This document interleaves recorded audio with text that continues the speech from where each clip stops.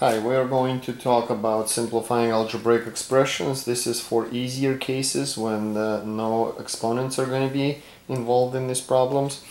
We have something called uh, like terms. So like terms are going to be terms that contain the same variable. The number in front of it that we call a coefficient is not going to make any difference. So if we look at this first example, we got 2x minus 5 minus 7x. So 2x and minus 7x are going to be our like terms and those are going to be combined. So what we do, just I'll show you one problem in a slightly extended form. We're going to rewrite it as 2x minus 7x minus 5. We can rearrange the terms as long as we keep the sign in front of it the same. And what we're going to do after that, again, we have these two terms right here. We're going to factor out x. In front of it, uh, in the parentheses, it's going to be 2 minus 7 and then minus 5 and 2 minus 7 will give you negative 5 so our answer here is going to be negative 5x minus 5 please keep in mind that these problems uh, with rare exceptions are going to be giving you an algebraic answer which means you are not expecting just a number. And these two things cannot be combined at all because one of them has a variable the other one does not so let's take a look at the next problem. 2z minus 5 plus z minus 6. Let's figure out our like terms. We certainly have two terms that have z in them. And we have two other terms that do not have z, just numbers. So those are going to be combined. I can rewrite that as 2z plus z means it's 1z. We don't write 1z, but that's what it implies. And then minus 5 minus 6 these two terms together get 2z plus 1z will give you a total of 3z. Negative 5 minus 6 will give you negative 11. This is our answer. Next problem, negative m plus 3 minus 5 plus 3m. Uh, I recommend rewriting it. Also note that negative m means negative 1m. Then we're going to put this 3m next to it, plus 3m. And we're going to copy the other two terms, plus 3 minus 5. So negative 1m plus 3m, negative 1 plus 3 is 2m. Ne uh, 3 minus 5 will give you minus 2. This is our answer. Our next example involves parentheses. So when you go with the order of operations, the way it normally is described, the operation inside parentheses needs to be done first. However, you got q plus 3, you can't really do q plus 3 unless you have a value for q, which you do to not. So what we do is we use something called distributive property, which tells you that take the number in front of the parentheses and distribute that number over both terms inside. And that's going to give us 2q then you multiply 2 by positive 3, which will give you 6, and then minus 5. There are two like terms here, 6 minus 5. q, there's only one of them. And your answer is going to be 2q plus 6 minus 5 is 1. And that is our answer. Okay, let's move on. Now we have two variables, so what happens when you have two variables is you are going to combine them together. That means x goes with x, y goes with y, t goes with t, etc, etc. So in this case we have 2x plus 7x and you have negative 2y minus y. Right? So what we are going to do now is we're going to um, combine them and if you want you can rewrite that as 2x plus 7x minus 5y minus y. So that would be our form when we rewrite that. And what we are going to do now is combine them the same way. So you just combine the x's together, which in our case you will have 2x plus 7x. That will give you 9x, right? So it's going to give you 9x here. I want to remind you that negative, one, negative y means negative 1y. So uh, what's going to happen is you have negative 5y minus 1y. That's going to give you negative 6y. Okay? And that's the answer here. Let's take a look at the next problem. Let's sort through this whole thing. So we have t and another t here. Let's write them together. 2t and then no more t's here and then minus 7t. Okay. Then we have plus 5. Scan through. We got minus 1. Those two go together. And you have one lonely q. We are going to write that. 2t minus 5t. 2 minus, I'm sorry, 2t minus 7t will give you negative 5. 2 minus 7 is negative 5. So it's negative 5t. 5 minus 1 is going to give you 4. And then plus q. This is actually an acceptable answer, although usually what you do is you put variables first and then you put the constant, which is what 4 is, at the end of this.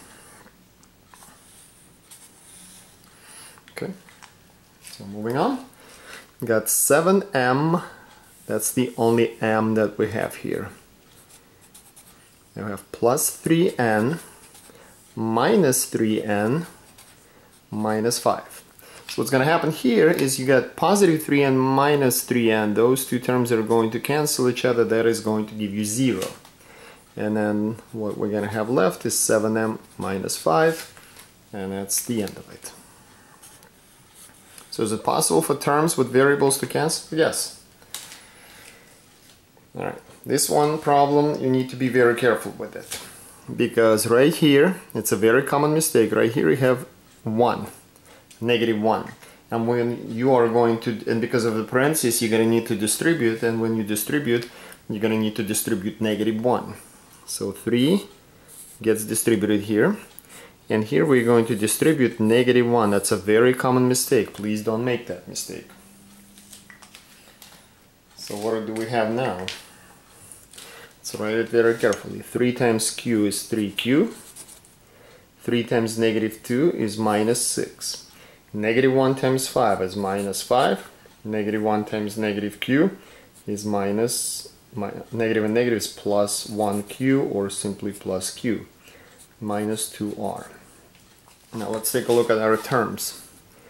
3q plus 1q minus 6 minus 5 and minus 2r. So 3q plus 1q is 4q Negative 6 minus 5 is negative 11 minus 2r.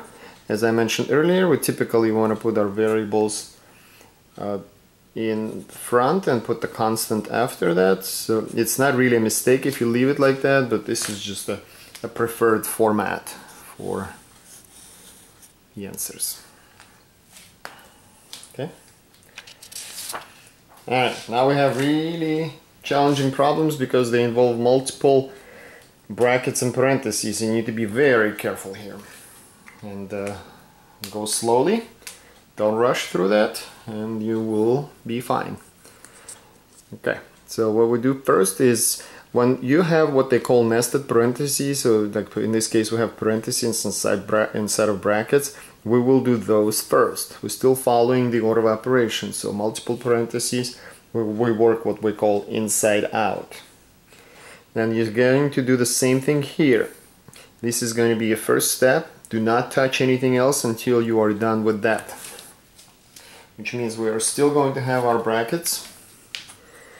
And this is going to look 2 times x is 2x. 2 times negative 1 is minus 2. Then plus 5. The bracket is still there. Here we're going to have 4 times 2 is 8. 4 times negative x is minus 4x.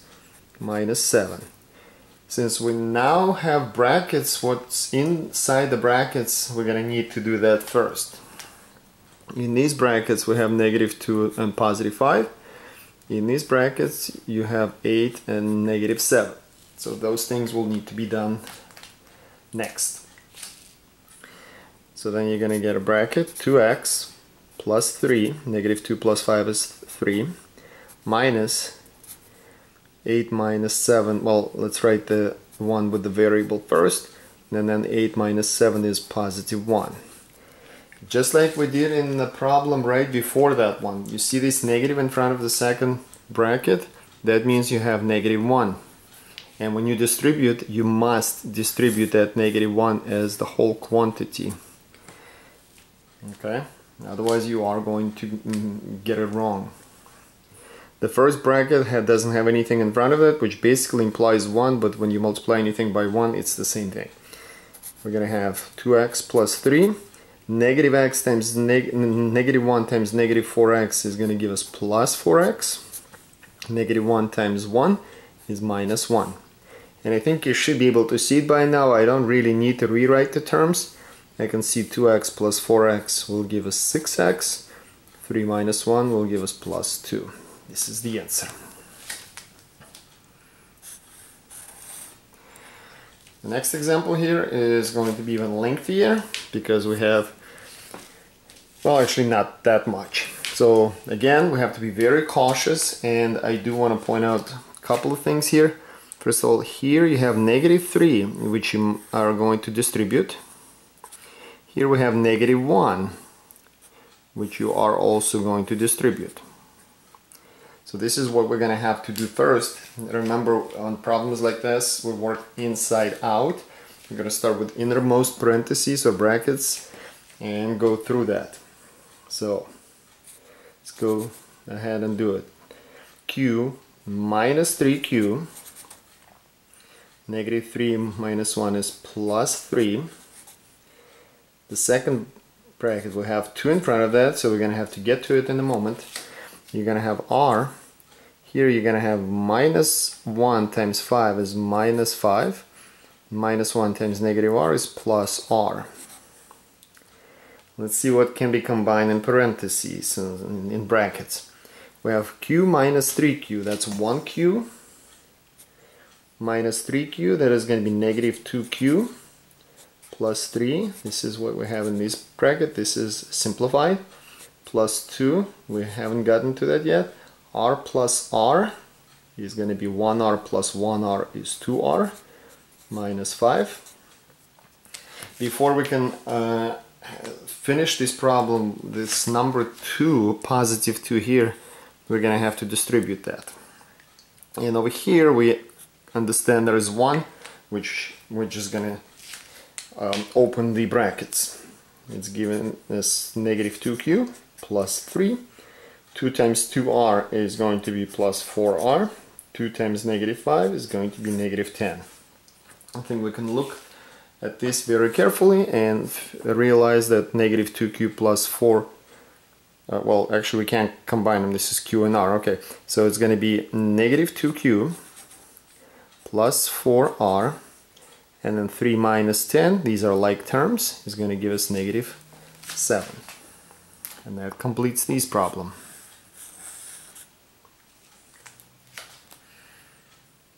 Mm-hmm. I think we have just one more problem. Alright. This one's really scary. Has a lot going on in here. So let's make sure we are very careful when we do this. And let's take one step at a time without rushing through this and then you should be perfectly fine. We work inside out, parentheses inside, positive 3 here, we are going to distribute that. Negative 1 here, we're going to distribute that. This has to be our first step, there is nothing else you can do here to make things go easier. So let's rewrite that negative bracket p 3 times q is plus 3q 3 times negative 1 is minus 3. This completes that. Minus 5 plus 3 bracket. What do we have here? P, this is negative 1 times q minus q. Negative 1 times 7 is minus 7. We are very, very careful. We're going to watch every step and we're going to make sure we don't make uh, any mistakes here as we move along. No like terms here. You got P, you got Q, you got a number. Here you got P, Q, and a number. We can't simplify that. Which means we can go ahead and uh, just uh, open the brackets. But the brackets need to be doing this very carefully because you have negative here. That means it's negative 1. And you got to distribute that over all three terms. in front of this bracket you have 3. You're to need to distribute that also. Yes, you have three different terms. You can combine them. You can distribute, you can use distributive property over as many terms as you have. So negative 1 times p is negative p. Negative 1 times 3q is minus 3q. Negative 1 times negative 3 is plus 3. We still have that minus 5. It's just going to sit there by itself. 3 times p plus 3p. 3 times negative q minus 3q. 3 times negative 7 is negative 21. Let's take a very careful look at what we have here. So have negative p and positive 3p, have negative 3q and minus 3q. We have 5, I'm sorry, 3, negative 5 and negative 21. So those are the things that we are going to combine. So I have negative 1p plus 3p, negative 1 plus 3 is 2, 2p. Negative 3q minus 3q, be careful, they do not cancel, they're both negative. Negative 3 minus 3 is negative 6, negative 6q. And then we have what? Negative 3, I'm sorry, positive 3 minus 5 is negative 2, negative 2 minus 21 is minus 23.